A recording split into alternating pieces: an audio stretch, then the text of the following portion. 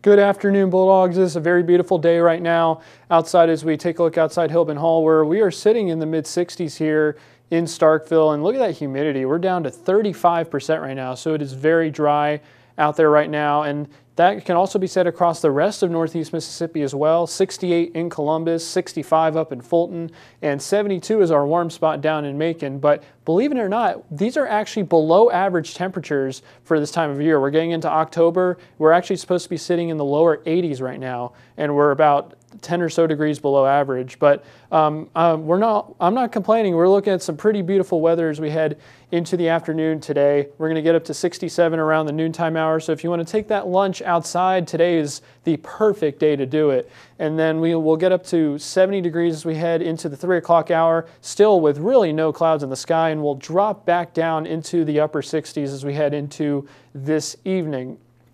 And as I said, really not looking at any cloud cover as we go throughout the rest of today and really for Saturday as well. So if you're going to be tailgating or having a barbecue as Mississippi State plays Arkansas tomorrow evening, that is, we're going to have some perfect weather on tap for that. Uh, but as we go into Sunday morning, we'll see uh, a couple high clouds move into our area. That's with another cold front that's going to be pushing towards northeast Mississippi.